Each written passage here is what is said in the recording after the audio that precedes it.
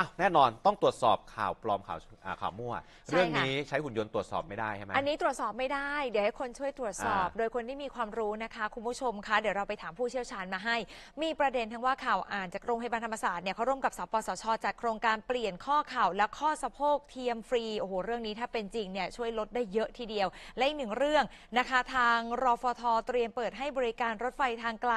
ณสถานีกลางกรุงกรุงเทพอภิวัตตั้งแต่ 19มกราคม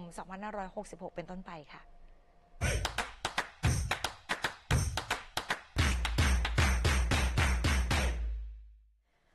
กรณีที่มีการเผยแพร่ข้อมูลข่าวสารในสื่อสังคมออนไลน์ เกี่ยวกับโรงพยาบาลธรรมศาสตร์ร่วมกับสปสช และเขาจัดโครงการเปลี่ยนข้อเข่าและข้อสะโพกเทียมฟรี ซึ่งทางสำนักงานหลักประกันสุขภาพแห่งชาติ สปสช ชี้แจงว่าประเด็นดังกล่าวนี้ เป็นเรื่องจริงค่ะ เป็นเรื่องจริงนะครับ เพราะว่าทางมหาวิทยาลัยธรรมศาสตร์ ร่วมกับโรงพยาบาลธรรมศาสตร์เฉลิมพระเกียรติ และสำนักงานหลักประกันสุขภาพแห่งชาติ หรือสปสช นั้น เขาดำเนินโครงการจิตอาสาผ่าตัดเปลี่ยนข้อเข่า ข้อสะโพกเทียม รวมทั้งสิ้น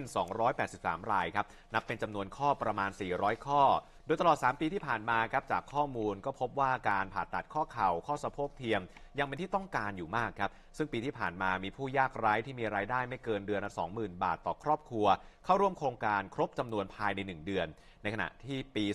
2566 ที่จะถึงนี้ จะเปิดให้บริการอีก 100ถึง200 ข้อ โดยเปิดรับสมัครประมาณเดือนพฤศจิกายน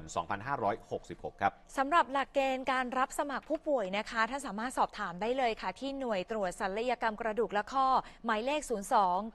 02926 นะคะ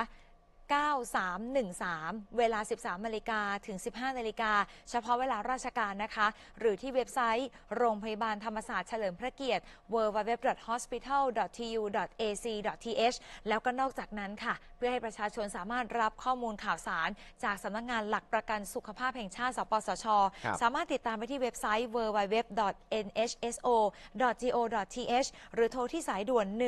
1330 นะคะ อีกหนึ่งเรื่องแชร์กันในสื่อสังคมออนไลน์ค่ะ ใจความว่ารอฟอทเตรียมเปิดให้บริการรถไฟทางไกล ณ สถานีกลางกรุงเทพอภิวัตรหรือสถานีกลางบางซื่อตั้งแต่ 19 มกราคม 2566 เป็นต้นไป ซึ่งทางการรถไฟแห่งประเทศไทย ชี้แจงว่าประเด็นดังกล่าวนี้เป็นความจริงค่ะ ซึ่งทางการรถไฟแห่งประเทศไทยนะครับได้ประกาศกำหนดการเปิดใช้งานสถานีกลางกรุงเทพอภิวัตรเป็นสถานีต้นทาง ปลายทาง รถไฟโดยสารเชิงพาณิชย์ ขบวนรถด่วนพิเศษ รถด่วนรถเร็ว เริ่มตั้งแต่วันที่ 19 มกราคม 2566 เป็นต้นไปทั้งหมด 52 ขบวนในสายเหนือ สายตะวันออกเฉียงเหนือ และสายใต้ ส่วนขบวนรถเชิงสังคมก็คือขบวนรถธรรมดารถชานเมือง ยังคงให้บริการที่สถานีกรุงเทพก็คือสถานีหัวลำโพงตามเดิมนะครับ ค่ะ ซึ่งทั้งนี้ค่ะให้ประชาชนได้รับข้อมูลข่าวสาร สามารถสอบถามเพิ่มเติมได้ที่ศูนย์บริการลูกค้าสัมพันธ์ หมายเลขโทรศัพท์ 1690 ตลอด 24 ชั่วโมงค่ะ หรือ Facebook Fanpage ทีม PR การรถไฟแห่งประเทศไทย หรือจะจองตั๋วออนไลน์ได้ทางเว็บไซต์ www.thairailwayticket.com นั่นเองค่ะ สรุปแล้ววันนี้ชัวร์ทั้งสองเรื่องของค่ะเรื่องการผ่าตัดเปลี่ยนข้อต่างค่ะ ๆนะปีนี้คือเต็มแล้ว ใช่เดือนค่ะ เดียวคือเต็มเลยนะคือ รอปีหน้าเดี๋ยวเขาเพิ่มอัตราให้อีก ต้องยอมรับว่าค่าใช้จ่ายสูง พี่ต๊อบพี่ลองไปเปิดราคาเล่น ๆ นะ เป็นไง การเปลี่ยนข้อสะโพกเทียมข้างเดียวนะ ครับ รวมแพ็กเกจทุกอย่างนอน อันนี้เป็นโรงพยาบาลเอกชนเอกชนอ่า 3 4 0 0 0 0 บาทโอ้ค่ะโห